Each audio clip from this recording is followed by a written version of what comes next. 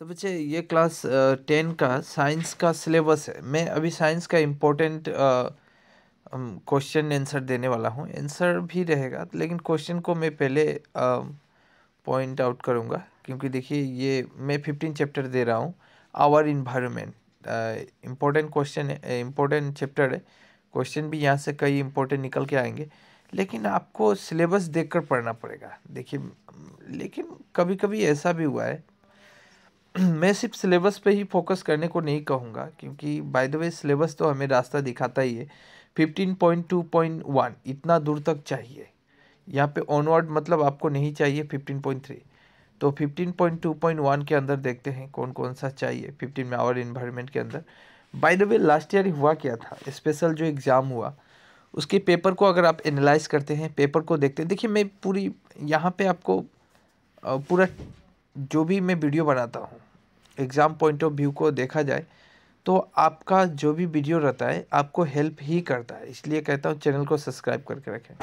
चलिए our environment के अंदर, अगर मैं दिखाता हूँ fifteen point two point one by the way last year का जो पेपर मैंने देखा था ट्वेंटी वन स्पेशल एग्ज़ाम का तो एग्जामिनर सिलेबस से भी बाहर कुछ क्वेश्चन दे दिया था। वो मुझे आश्चर्य लगा देखकर।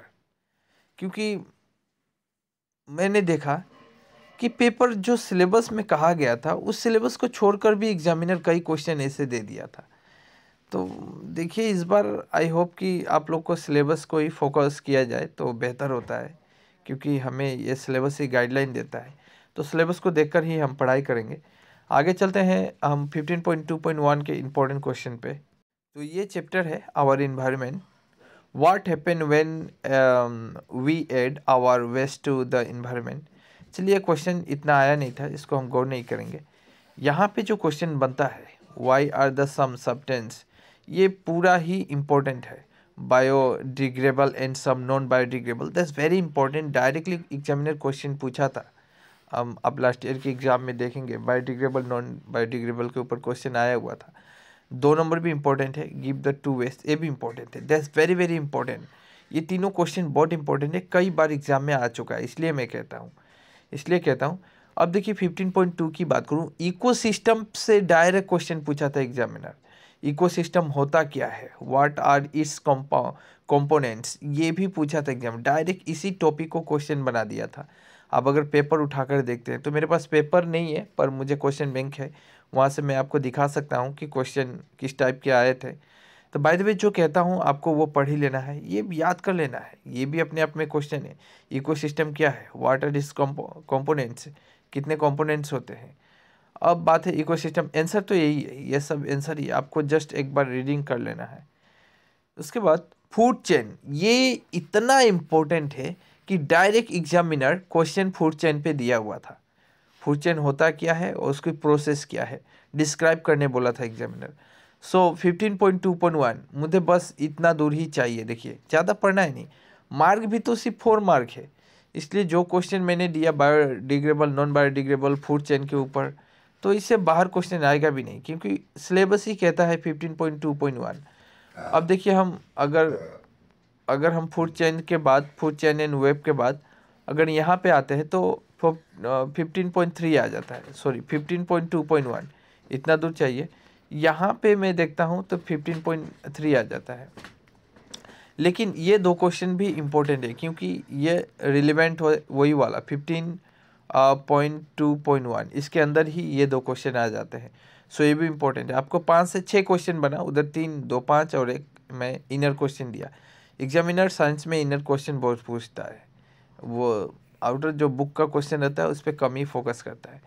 चलिए सीबीएसई के एग्ज़ाम में किस टाइप के क्वेश्चन पूछे थे और वहाँ से भी हमारे सेवा के एग्ज़ाम में भी क्वेश्चन आए थे उसको भी ज़रा देखते हैं हम। ये वाला जो एक मार्क का है ये सब कर लीजिएगा बुक का है आ, मैं इसको यहाँ पे ये क्वेश्चन आया था एग्ज़ाम में। सो इस बार भी क्वेश्चन यही आने का चांसेस बहुत ज़्यादा है हंड्रेड परसेंट ये क्वेश्चन बनेगा। What is ozone and how does is effect ecosystem that's very important question इसके बाद डिस्पोजल रिएक्शन ये प्रॉब्लम तो कम ही पूछता है।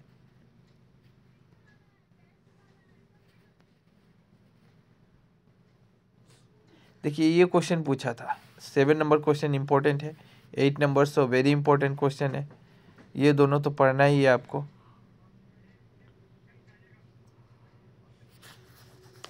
इसके बाद इकोसिस्टम पे पाँच नंबर क्वेश्चन इंपॉर्टेंट है। तो ये तीनों में एग्ज़ाम के लिए सिलेक्शन कर रहा हूँ मैं। ओजोन लेयर के ऊपर क्वेश्चन कई बार पूछा एग्जामिनर नौ नंबर भी इंपॉर्टेंट है। इससे बाहर क्वेश्चन आने का चांस बहुत ही कम है चैप्टर फिफ्टीन के अंदर। बाय द वे हम पेपर की एनालाइज कर लेते हैं कि पेपर किस टाइप का था। देखिए यहाँ पे मैं आंसर दे देता हूँ पहले। इकोसिस्टम होता क्या है? वो प्रोसेस यहाँ पे समझाया गया है। ये देखिए आप आंसर लिख सकते हैं। इकोसिस्टम टाइप ऑफ़ इकोसिस्टम एक नेचुरल इकोसिस्टम होता है, एक आर्टिफिशियल इकोसिस्टम होता है। कंपोनेंट्स क्या होता है इकोसिस्टम के? वो यहाँ पे दिए हैं biotic abiotic biotic components होता है। बायोटिक कंपोनेंट्स के अंदर प्लांट्स एनिमल्स दोनों आ जाते हैं। प्रोड्यूसर होता है कंज्यूमर होता है डिकम्पोजर होता है, ये सब होते हैं तो ये इसके पार्ट हो जाते हैं। फ़ूड चेन के ऊपर क्वेश्चन आया था तो फ़ूड चेन का आंसर यहाँ पे डिस्क्राइब किया गया है। इसके बाद energy topic energy topic level पे क्वेश्चन इतना नहीं आया था, एक ही बार एग्ज़ाम में देखने को मिला था, सिर्फ़ एक बार। ये वाला नीचे ओजन लेयर के ऊपर क्वेश्चन आया था अल्ट्रावायलेट देखिए जो डिरेक्शन होता है तो ये सनलाइट प्रोटेक्टिंग करता है तो ये प्रोटेक्ट करता है so very important ozone layer आपको पढ़ना है। वो यहाँ पे नोट्स दिया हुआ है, ये आंसर दिए हुए हैं ओजन लेयर होता क्या है।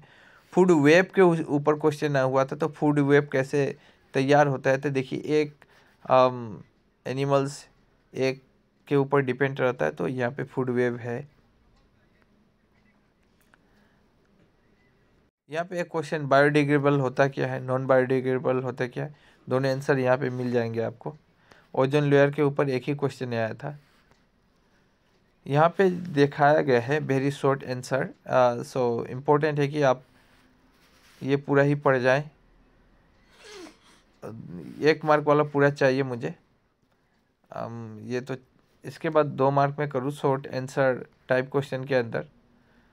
तो पहला क्वेश्चन इंपॉर्टेंट है why are the green plants call producer क्यों कहा जाता है? Name the two materials which can be recycled so ये भी इम्पोर्टेंट है। इसके बाद ये क्वेश्चन आया हुआ था। देखिए कई एग्ज़ाम में क्वेश्चन मिला है। कि ten percent energy direct transfer किया जाता है। देखिए, जो भी ग्रीन प्लांट्स होते हैं, वो टेन परसेंट एनर्जी हमें प्रोवाइड करते हैं। इसलिए ग्रीन प्लांट्स को डॉक्टर भी सलाह देता है खाने के लिए। तीन मार्क के ऊपर जो क्वेश्चन है, मैं जो इम्पोर्टेंट कहता हूँ, इसी को पढ़िएगा। यहाँ पे क्वेश्चन सेवन नंबर इम्पोर्टेंट है। What is the role of decomposition in ecosystem energy के ऊपर, ये पिरामिड के ऊपर क्वेश्चन एक ही बार देखने को मिला था तो सो आप इसको अवॉइड कर सकते हैं। Difference between biodegradable waste and non biodegradable that's very very important question तीन मार्क का एग्ज़ाम में आएगा। ओजन मोलिकुल्स के ऊपर नहीं आएगा। एटमोसफेयर के क्वेश्चन एटमोसफेयर पे एक क्वेश्चन आया हुआ था, लेकिन वो आवर इन्वायरमेंट से था नहीं, वो अलग चैप्टर से था। कंज्यूमर किसे कहते हैं? प्रोड्यूसर क्या है? तो पढ़िएगा, तब समझ में आ जाएगा। नेचुरल इकोसिस्टम क्या है? ये इंपॉर्टेंट है चार नंबर मटेरियल्स नहीं चाहिए. सिक्स नंबर इंपॉर्टेंट है what is the food way answer already मैं वहाँ पे दे चुका था. ये सेवन नंबर इंपॉर्टेंट है give any two way in ways the non biodegradable wasted would would effect effect the environment देखिए इफ़ेक्ट अफेक्ट में अंतर होता है तो ये भी आपका वोकेबलरी के अंदर आ जाता है ग्रामर के अंदर इंग्लिश में। एक ही क्वेश्चन को दो बार दिया गया है, ये सब नहीं चाहिए।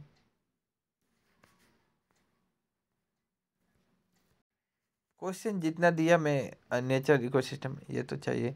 जितना क्वेश्चन दिया एन एफ़ एग्ज़ाम के लिए, इसे बाहर आपको पढ़ने की ज़रूरत भी नहीं है। इसी के अंदर से क्वेश्चन डायरेक्ट आ जाएगा एग्ज़ाम में। सो so, वीडियो कैसी लगी? एक बार वीडियो को लाइक ज़रूर कीजिएगा। इसलिए कहता हूँ सब्सक्राइब करके रखें। आपका हेल्प होने वाला है। इससे पहले इम्पोर्टेंट सिर्फ़ इम्पोर्टेंट मटेरियल्स वीडियो ही देता हूँ मैं। एग्ज़ाम की जो आपको आंसर सीट मिलेगा वो पेपर कैसा रहता है वो भी दिखाया हूँ। फिलअप कैसे करना है बहुत सारे स्टूडेंट जानते नहीं हैं गलती कर आते हैं। तो उसके लिए भी वीडियो मैं बनाया हूँ आप देख सकते हैं। ये वाला वीडियो ज़रूर देखिएगा डिस्क्रिप्शन के नीचे दे दूँगा मैं। ये मैं मॉर्निंग में ही वीडियो को बना के भेजा था, देखिए। आंसर सीट को फॉर्म फिलअप किस तरह करना है? सॉरी फिलअप किस तरह करना है? ये आंसर सीट है एग्ज़ाम में आपको बिल्कुल इस तरह का आंसर सीट मिलेगा। तो आपको कैसे लिखना है उसमें? उसके बाद मार्जिन कितना दिया जाता है? आंसर कहाँ से स्टार्ट कीजिएगा? तो ये सब वहाँ पे दिखाया गया है वीडियो में। चलो एक बार ज़रूर देखिएगा। एग्ज़ाम में जाने से पहले बहुत इंपॉर्टेंट है एग्ज़ाम की गाइडलाइन को समझना।